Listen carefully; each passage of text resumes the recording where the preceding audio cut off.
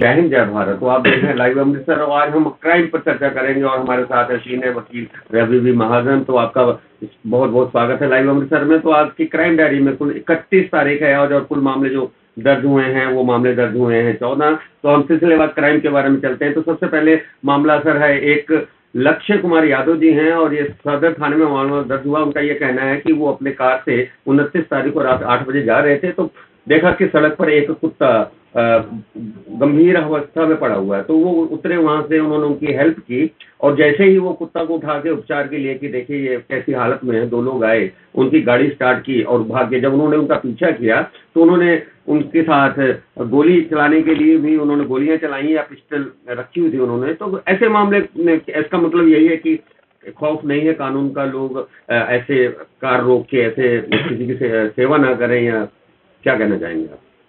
दफ़ा लगी है इसमें तीन सौ उन्यासी बी की। तीन सौ उन्यासी बी है। जी। किसी को उसकी मौत का डर दिखा के जबरी स्नैचिंग कर ले। और पच्चीस तारीख तिरंजा उनाठ है। जी। हमारे पास वेपन होना।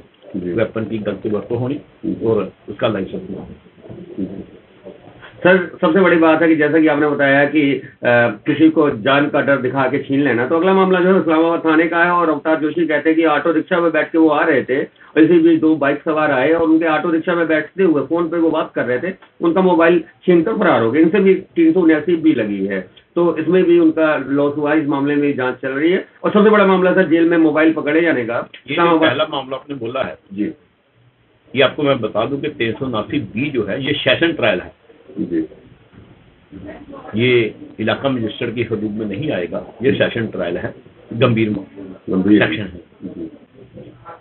सर जो अगला मामला मैं बताता हूँ मोबाइल में मोबाइल पकड़े जाने का जेल का मामला कितने बहुत संजीदा मामला है। पाँच मोबाइल पकड़े गए चार लोग नामजद हुए हैं। मैं नाम बता दूँ उनका जगजीत सिंह है ये और दूसरे का नाम है ये साहिब सिंह है। और तीसरे तीसरे का नाम है दलजीत सिंह और चौथे का नाम है लवप्रीत सिंह ऑफ़ कालू ये सभी वहाँ पे कैद है। एक अननोन पर्सन के खिलाफ मामला दर्ज किया और जियो के वहाँ पर सिम मिले, मोबाइल मिले। तो सर, ये कहीं ना कहीं गंभीर मसला है, जेल में मोबाइल मिलना। बिल्कुल जी, बिल्कुल। इसमें जो जेल अथॉरिटी है उसकी कहीं ना कहीं मिली तो होती है, पर इसमें जो धाराएँ लगेंगी, वो प्रिजनर एक्ट की लगेंगी। क्योंकि ये प्रिजनर हैं तो इनका एक अलग से एक्ट बना हुआ है। वो जो जेल में चले जाते हैं तो प्रिजनर एक्ट के अधीन आते। हैं सर कभी इस मामले इस तरफ़ नहीं आवाज़ उठती कि आखिर जेल में वो कैदी कैद हैं तो मोबाइल पहुँचा कैसे? नामजद तो हो जाता ये इन्वेस्टिगेशन का मैटर है। मैं इस पर नहीं कुछ कह सकता। जी। चलिए हम अगला मामला चलते हैं और ये कैंट का मामला बतालीस बोतल शराब पकड़ी गई और यूसुफ पकड़ेंगे अनिल कुमार और सावन। ये तीनों को गिरफ़्तार किया है सीआईए स्टाफ ने और एस आई विनोद कुमार ने इस मामले में। तो इनको गिरफ़्तार किया गया है और ये शराब का मामला है। देखिए इसमें एक्साइज एक्ट लगेगा। एक्साइज एक्ट ये वैसे तो चर्चा का विषय है कि एक्साइज एक्ट में जो शराब बिना लाइसेंस के जाती है ये उनके ऊपर लगता है। चाहिए तो वैसे ऐसे जो हैं एक्ट वो अमेंड होने चाहिए। सजा बढ़नी चाहिए इसमें।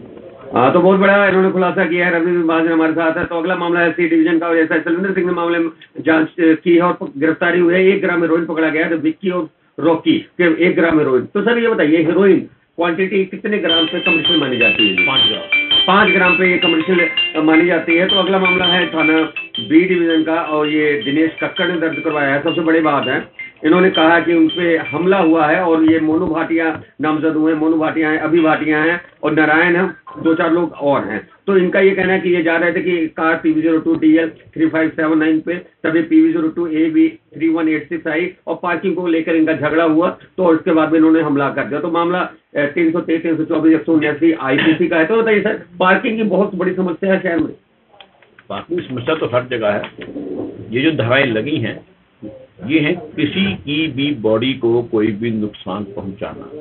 तो इसमें जो धारा है 323 324 ये मेडिकल बेस्ड है। जिस तरह की एम एल आएगी उसी तरह की धारा लगी है। तो इसमें ग्रीवियस हर्ट नहीं है इसलिए 323 324 मुझे लगता है ये अंडर एक्सरे अंडर ऑब्जर्वेशन होगी और इसमें बाद में इजाफा हो जाएगा जुर्म का। जी, बिल्कुल ठीक है जी। अगला मामला है थाना बेटू जगह एस प्रकट सिंह ने एंटी नार्कोटिक सेल ने इन्होंने बलविंदर सिंह बिल्ला को छह ग्राम हेरोइन के साथ पकड़ा है तो सर, ये छह ग्राम हेरोइन पकड़ी गई है। तो क्या है? एक ग्राम वाले से और छह ग्राम वालों में सजा अलग अलग है? बिल्कुल अलग अलग है जी। जो एक ग्राम है, वो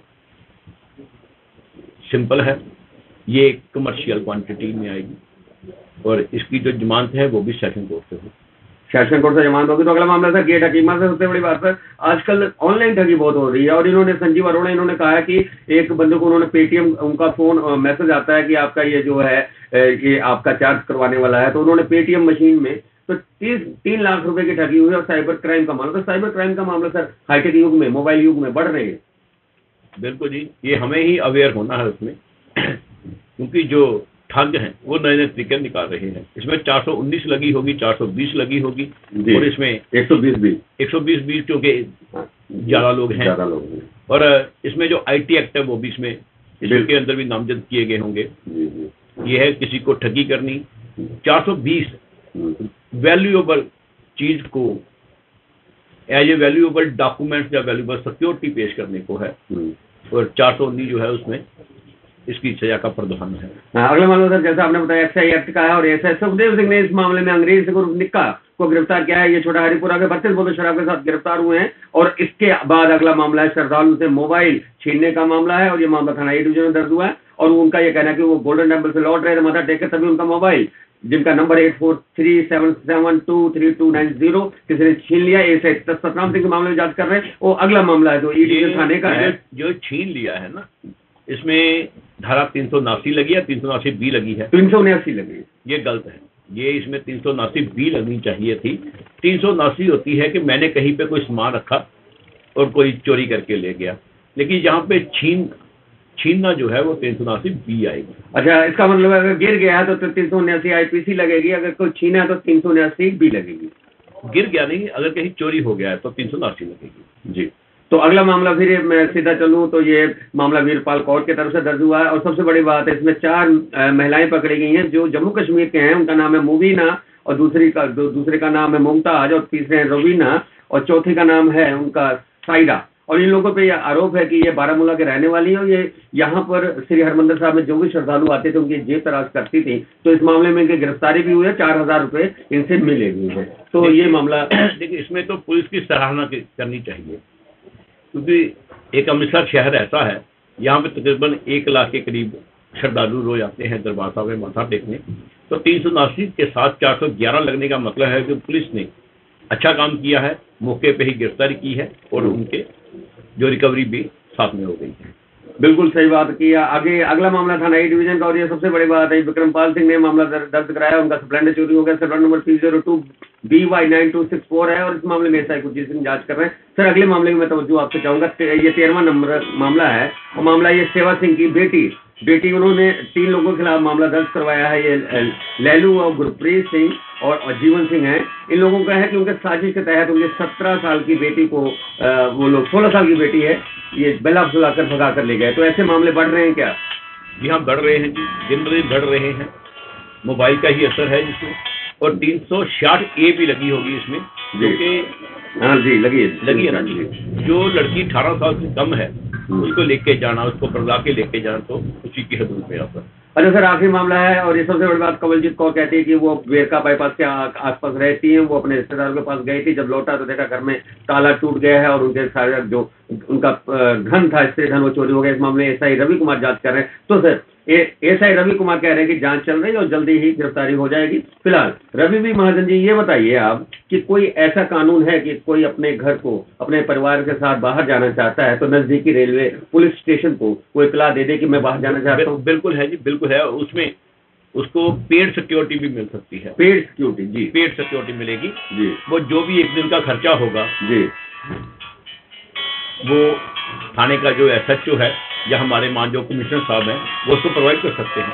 तो सबसे बड़ा खुलासा किया है रवि महाजन जी ने सबसे बड़ी बात अपराधों की खबर में चर्चा करते हुए इन्होंने जो बताया है कि अगर आपका परिवार पूरे परिवार समेत आप बाहर जाना चाहते हैं तो आपके घर की रखवाली स्थानीय पुलिस स्टेशन कर सकती है और ये पेड सिक्योरिटी भी हो सकती है। इसके लिए कुछ खाना पूर्ति करनी होती वो आप कर सकते हैं और बेफिक्र घर छोड़ के। रिश्तेदारी में घूम सकते हैं डलोजी का मज़ा ले सकते हैं, विदेश जा सकते हैं। क्योंकि अब ऐसा कानून है कि आपके घर की रखवाली इलाके की पुलिस करेगी और उसके लिए जो भी पेमेंट बनती है सरकारी, वो आपको देना पड़ेगा। तो आज हमारे मेहमान थे, रवि भी महाजन जिन्होंने आज के क्राइम पर चर्चा की, फिर अगली चर्चा पर मिलेंगे और किसी खास मेहमान के साथ। जय हिंद, जय भारत।